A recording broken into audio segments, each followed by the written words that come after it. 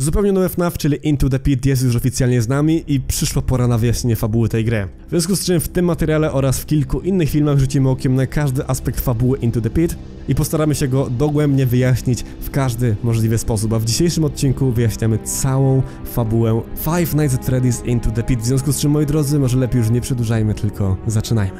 Więc nowa FNAFowa gra, wyczekiwana już od stycznia, Into the Pit ostatecznie wyszła i jest z nami. W czwartek na kanale miejsce miał stream z przechodzenia całej tej gry.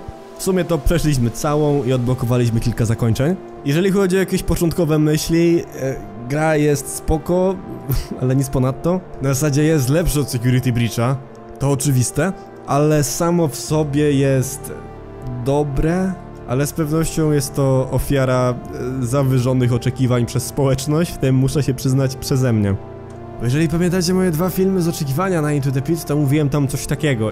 Helpy, czy to już trochę mniej istotne, gitara Toyboniego. Jeżeli tam znajduje się Trash Gang oraz Helpy, którzy pojawili się dopiero przy okazji FFPS-a, to uważam, że to ostateczny dowód na to, że Into the Pit będzie skupiać się na całym timeline'ie FNAFa i być może każdej nocy podróżować będziemy do innych wydarzeń z różnych lat, które obserwowaliśmy na przestrzeni całej serii. Uwa I...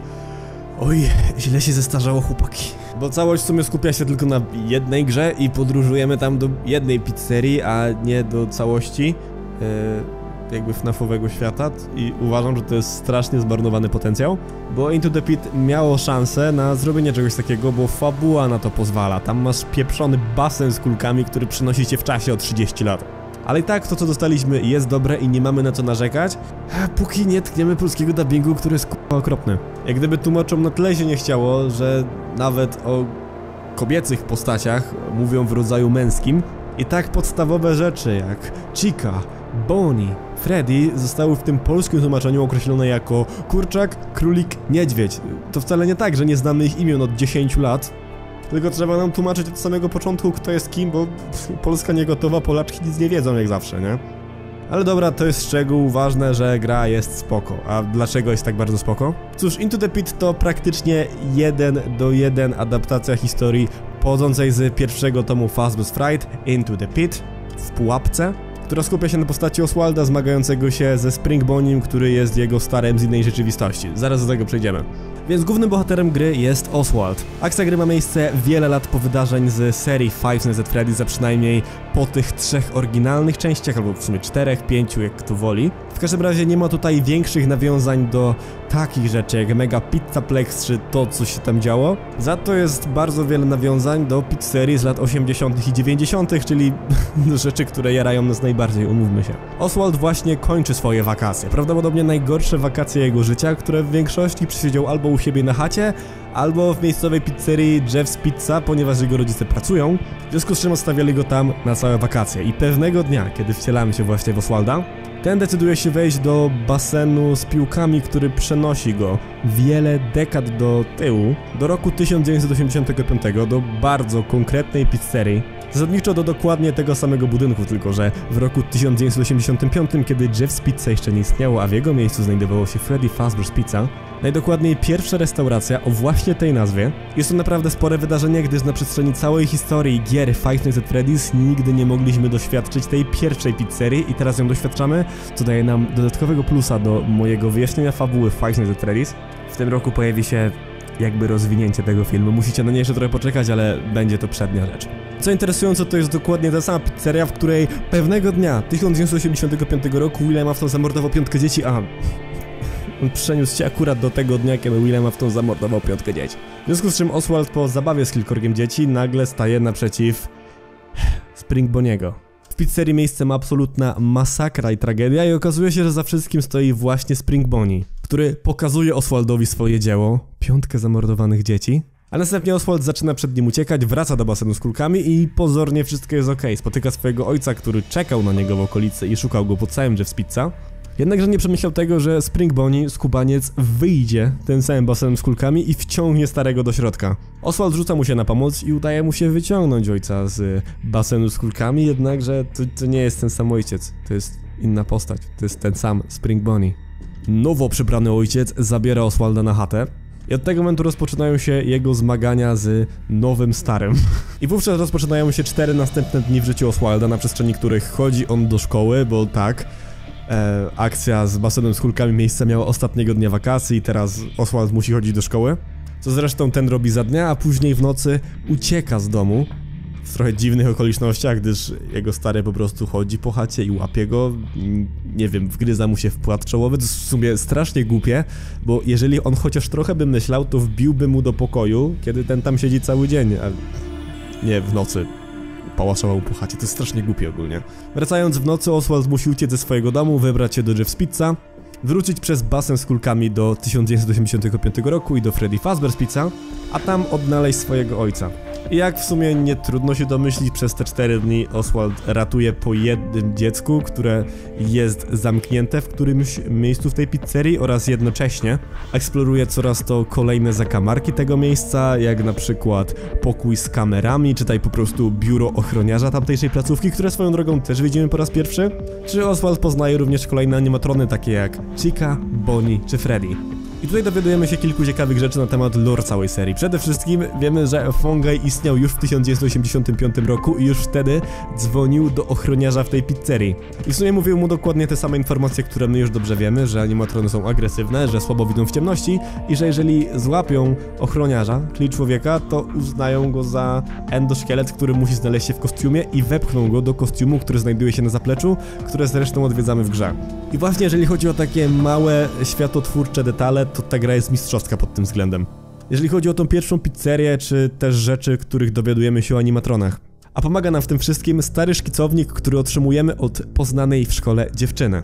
Okazuje się, że właśnie w latach 80. jej dziadek pracował przy animatronach i jest to poniekąd dla nas swego rodzaju bestiariuszem i kompendium wiedzy odnośnie trójki oryginalnych animatronów. Niestety Foxiego w grze nie ma. I oj, boli mnie ten fakt.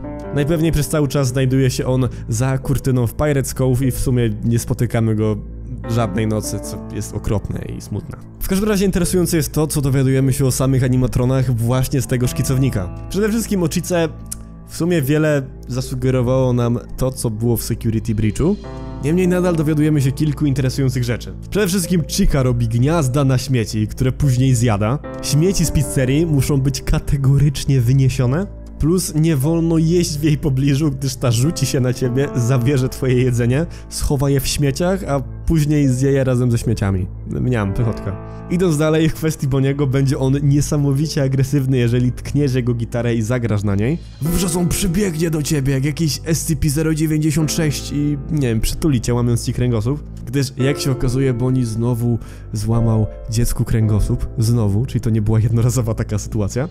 Jednocześnie Boni miewa awarię modułu głosowego, i overall jest takim e, niebezpiecznym, niespokojnym gościem. Idąc dalej, wielu rzeczy dowiadujemy się o samym Freddym Fazberze, któremu dzieciaki często kradną kapelusz, który musi być przyklejony do jego glacy. Dodatkowo w nowych modelach tego animatrona jego szczęki są mocno nieprzewidywalne, czego rzeczywiście dowiedzieliśmy się grając w grę, tą sprzed 10 lat. Okazuje się, że Freddy nie lubi bardzo mocnego światła. Najprościej mówiąc, jeżeli błyśniesz mu czymś w oczy, ten wpadnie w szał i będzie bardzo agresywny. Dodatkowo z jego AI, czy też sztuczną inteligencją coś jest nie tak. Freddy notorycznie próbuje zdjąć sobie głowę, o czym też zresztą wiedzieliśmy w poprzednich grach. Co do Cupcake'a dowiadujemy się, że gryzie i należy trzymać palce z dala od niego. Dodatkowo okazuje się, że ktoś wdarł się do jego modułu głosowego, zaprogramował go w taki sposób, że ten warczy. Z innych rzeczy, które są interesujące, mamy wgląd na diagram oka animatronika, co nie jest jakoś mega interesujące, ale widzimy jak ten na przykład może mrugać i w jaki sposób to działa. Oraz co interesujące, widzimy mniej więcej jak pełny kostium jest zakładany na endoszkielet. Warstwowo wygląda to tak, że pod kostiumem znajduje się jeszcze wypełnienie i dopiero wówczas endoszkielet. Szczerze, nigdy wcześniej niczego takiego nam nie pokazano. Jeżeli chodzi o inne lorowe rzeczy, zasadniczo gra nie daje nam tego jakoś mega dużo. I w sumie na przestrzeni tych pięciu dni nie dzieje się zbyt wiele interesujących rzeczy. Zasadniczo dzieje się tam dokładnie to samo, w związku z czym przejdźmy może od razu do tego, co dzieje się przy okazji Nocy Piątej. Oswald po uratowaniu piątki dzieciaków próbuje uratować swojego ojca. Nie wiadomo w którym miejscu w pizzerii się znajduje, jednakże po pewnym czasie okazuje się, że jest on w safe roomie, w który to wyposażona jest każda placówka Freddy'ego Fazbera i chyba nie tylko. Oswaldowi udaje się go uratować, niemniej nagle pojawia się Spring Bonnie, żółty królik, który zabiera go stamtąd. A następnie spotykamy ich dopiero przy basenie z kulkami, gdzie chciałbym powiedzieć, że walczą, jednakże prawda jest taka, że stary dostaje od królika. I kiedy ten leży zdokautowany, Spring Bonnie atakuje Oswalda, który wali mu puncha prosto w twarz, następnie ratuje swojego starego, wychodząc z nim poprzez basen z kulkami. I w momencie, kiedy ten wyciąga go, Spring Bonnie wciąga go z powrotem do środka. Wówczas miejsce ma bad ending. Oswald siedzi związany na krześle w tym samym miejscu, w którym siedział jego ojciec, a Spring Bonnie najprawdopodobniej zabija go. To jest bad ending, zresztą prawdopodobnie najłatwiejszy do uzyskania. Zwyczajnie musisz ukończyć grę bez zagłębiania się w minigierki oraz bez zbierania znajdziek, jednakże to nie koniec, ponieważ w zanadrzu są jeszcze trzy inne zakończenia. Drugie zakończenie, które odblokowałem zasadniczo jako pierwsze na streamie, kiedy przychodziłem Into the Pit razem z wami, co było w ogóle świetnym przeżyciem, polega na tym, że Oswald po prostu opuszcza pizzerię w latach 80. W okolicach 30-40 minuty grania on po prostu wychodzi przez drzwi, co jest chyba najgłupszą możliwą decyzją, on po prostu idzie, opuszcza Freddy Fazbear's Pizza, zostawia swojego ojca w pizzerii, zapomina, że to wszystko miało miejsce i no nie wiem, rozpoczyna swoje życie w, w 1985 roku czy coś. I szczerze powiedziawszy, ten ending bardzo mocno przypomina mi zakończenie Security Breacha, to w którym jako Gregory po prostu opuszczamy Mega Pizzaplex i dojeżdża nas. Podobieństwo jest mega oczywiste, myślę, że yy, nie muszę go wyjaśniać. Teraz przejdźmy do tych trochę bardziej skomplikowanych zakończeń do otrzymania. Do uzyskania pierwszego z nich potrzebne będzie odnalezienie wszystkich znajdziek na terenie pizzerii, Czytaj odnalezienie każdej pojedynczej rzeczy, jaką zgubił twój ojciec. Będzie to chociażby jego portfel, zdjęcie jego i Oswalda. W sumie jest to 5 itemków do odnalezienia. Po odnalezieniu ich wszystkich coś się zmienia. Otóż po uratowaniu ostatniego dziecka z miejsca, gdzie e, wydarzyło się Missing Child Incident, czytaj po prostu w pokoju, gdzie William Afton zamordował piątkę dzieci, w tym samym pomieszczeniu pojawi się jeszcze jeden item. Zdjęcie dwójki osób o zamazanych twarzach. Najdokładniej jest to William Afton i Henry Emily. Nawet w plikach gry znajduje się nieużyta wersja tego zdjęcia, gdzie Henry jest cały zamazany, niemniej jest ubrany w dokładnie ten sam kostium, w jaki ubrany jest chociażby w książkach, więc to jest zdecydowanie Henry. William również wygląda tak samo, ma nawet fioletową koszulę. I odnalezienie tego zdjęcia daje ci dobre zakończenie, w którym to wszystko wygląda praktycznie dokładnie tak samo, tylko że z tą różnicą, że po oddaniu puncha w mordy Springboniego wypada ci zdjęcie Williama i Henry'ego. Springboni widząc je, bierze je do rąk i mocno się triggeruje waląc Rage Quita, a Oswald i jego stare mają dodatkowe kilka sekund czasu, co pozwala mieć im lekką przewagę nad Springbonim. Wówczas wszystko idzie względem bardzo podobnego schematu co w książce. Oswald wymierza final ciosa sprawiedliwości prosto w mordę Springboniego, przez co ten w jakiś sposób plącze się w linach przy basenie z kulkami, na których zresztą wiesza się i teoretycznie umiera. Wszyscy żyli długo i szczęśliwie, dobre zakończenie, jednakże wciąż jest to tylko zakończenie, które daje ci dwie gwiazdki, a nie trzy. I uwaga, bo to jest mocne, po tym wydarzeniu miejsce ma scena po napisach albo e, chwilowe zadanie w którym to wcielamy się w nikogo innego jak w Jeffa, czyli w jedynego pracownika tej pizzerii, który zawsze jest znudzony oraz kilkukrotnie wchodzimy z nim w interakcję na przestrzeni samej gry. Ten idzie sprawdzić, co wydarzyło się w miejscu z basenem z kulkami, a tam odnajduje kostium Springboniego, który jak się okazuje jest nadal żywy i atakuje go. To jest najpewniej to główne, kanoniczne zakończenie, jednakże nadal nie jest tym najlepszym. Wciąż może być lepiej i to najlepsze zakończenie to to, w którym reperujesz trzy arcade'owe maszyny z grami, które zmieniają właśnie scenę po napisach, w której Spring Bonnie zasadniczo się nie pojawia, a Jeff nagle ma pieniądze na rozwój restauracji i wszyscy żyli długo i szczęśliwie, wszyscy jedzą razem pizzę, jest super. Także żeby zdobyć to zakończenie, musisz zagrać w trzy minigry, które są bardzo ciężkie do zdobycia. Pierwszą z nich w bardzo prosty sposób odblokowujesz podczas nocy piątej. Wystarczy, że z telefonu Oswalda zadzwonisz po prostu do mamy. Wówczas pojawi ci się minigra z postacią znaną jako Eleanor, nie, to nie jest Baby.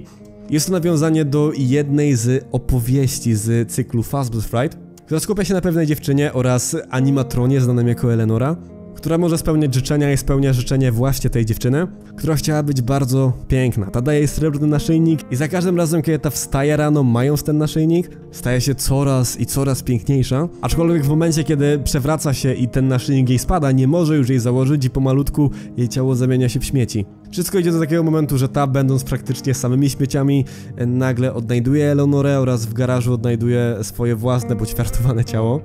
Generalnie mega chore gówno i do tego nawiązuje ta minigra. Kolejna minigra jest dziwna i chciałbym poznać osobę albo osoby, które celowo, intencjonalnie sprawdzały każdy detal, żeby w ogóle w nią zagrać. Generalnie musisz podejść do Candy Machine i dosłownie spamować przycisk interakcji, ale to nie tak, że 10, 20 razy, kupa 50 razy. Musisz tam podejść i 50 razy wejść w interakcję z maszyną i dopiero po tych 50 razach odpali ci się minigra z pewną dziewczyną.